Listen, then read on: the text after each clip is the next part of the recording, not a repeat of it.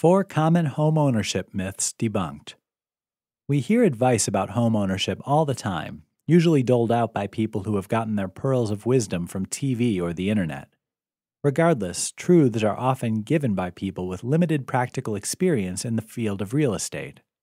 To help you determine if homeownership is right for you and your family, we've debunked four of the common myths below. 1. It's better to buy the worst house in the neighborhood.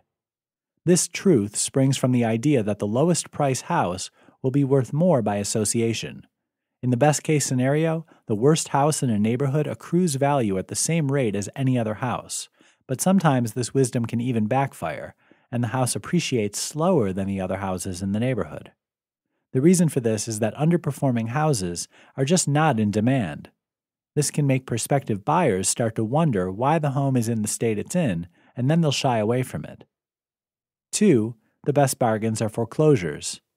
It's true that a house in foreclosure costs far less than other houses, but a momentary thought process will show why that's a fallacy. Foreclosed homes are not like other houses. Homeowners facing foreclosure have nothing to gain by fixing roofs or maintaining a home. Some will even deliberately sabotage a home, pulling out copper pipes and appliances to sell. Bear in mind, too, a foreclosed house is usually purchased from a bank, and banks do not have the same obligations to disclose as private sellers do.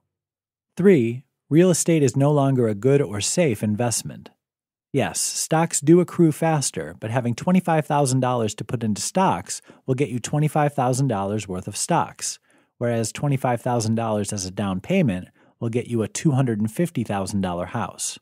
Plus, the mortgage payments offer tax benefits. Interest on home loans are deductible, and so are property taxes. Over time, real estate will actually outperform stocks.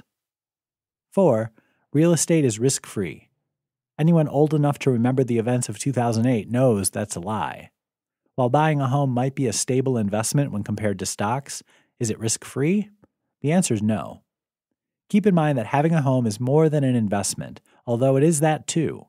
It's a place where you'll raise your family and build memories. Taking the time to understand the real truths behind home ownership is worth it.